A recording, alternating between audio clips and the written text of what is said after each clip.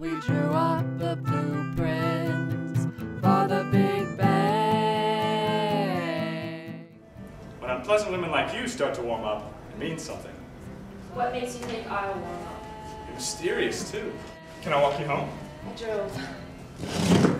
Can you give me a ride?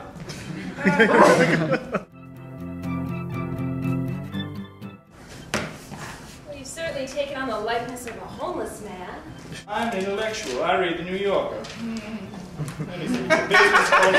Excuse me, I was reading that literature. But I read here and there. Oh, really? What? Misconnections, man for woman, woman for man, woman for animal, that sort of thing.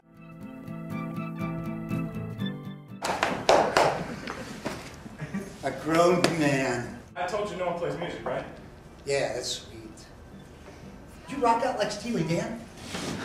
Had to take an hour train ride just to get to the Hard Rock Cafe. He's obsessed with international hard rock memorabilia. What I do is more of a, a performance art piece on self-deprecation. You should see your place sometime. How does it feel to change a man's life? Dad.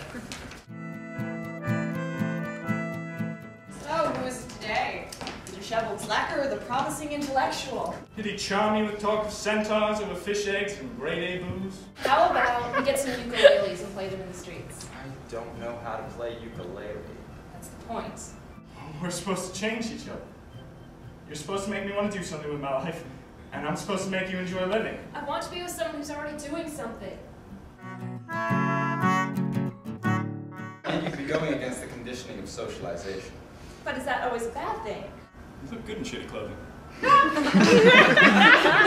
What if I just started barking right here and now, ripped off my clothes and howled at the moon? Would that be so unnatural? No.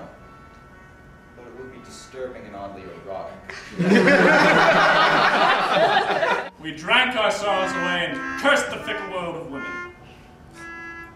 I went home, threw up, and woke up the next day feeling lousier. Well, thanks to a special girl, as my dad would say. mais de